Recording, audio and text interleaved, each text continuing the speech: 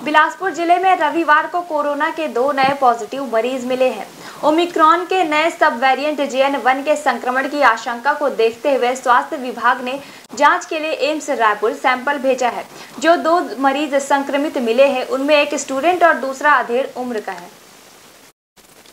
बताया जाता है कि मंगला निवासी छप्पन वर्षीय शख्स कोरबा में काम करता है, जो पिछले कई दिनों से बीमार चल रहा था। कोरबा में एनजी एंटीजन टेस्ट में रिपोर्ट नेगेटिव आई थी। दवा सेवन के बाद भी तबियत में सुधार नहीं होने पर 13 जनवरी को बिलासपुर सिम्स में आरटीपीसीआर टेस्ट कराया, जिसकी रिपोर्ट रविवार को कोरोना पॉजिटिव आई। वही दूसरा मरीज़ संबलपुर का है, जो कोनी में रहकर कॉलेज की पढ़ाई कर रहा है। पिछले कुछ दिनों से छात्र बीमार था। कोरोना के लक्षण मिलने पर उसने 13 जनवरी को सिम्स में आरटीपीसीआर टेस्ट कराया था। रविवार को उसकी रिपोर्ट भी पॉजिटिव आई है।